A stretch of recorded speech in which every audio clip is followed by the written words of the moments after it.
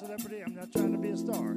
I'm just a concerned citizen that I do pay, I do smoke cigarettes, and, and my money goes towards, it's supposed to be going towards the school district. I just want to make sure it goes there and have an annual report every year about the school district money from cigarette tax. And that's all right.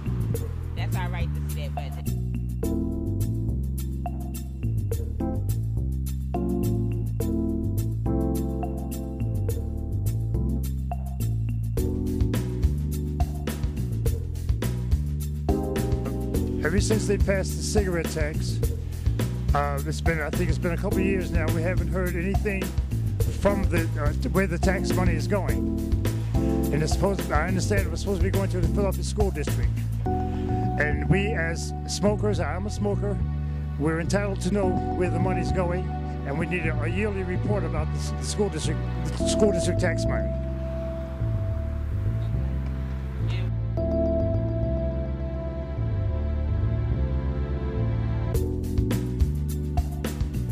They're collected, yes, they've been doing this for a couple years. They raised the cigarette tax, and now they're raising the uh, sugar uh, tax as far as sodas and juices and all.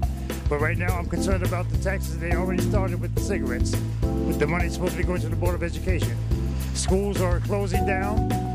They're making apartments out of schools. Uh, the, the kids are just, you know, in other words, where, where are the kids going to go as far as schools concerned? I thought this money was supposed to uh, improve all this.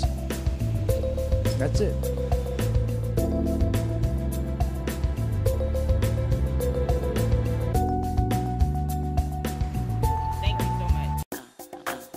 Exploring different, different issues and concerns. I'm finding, I'm finding so many different different mentalities that it seems hard.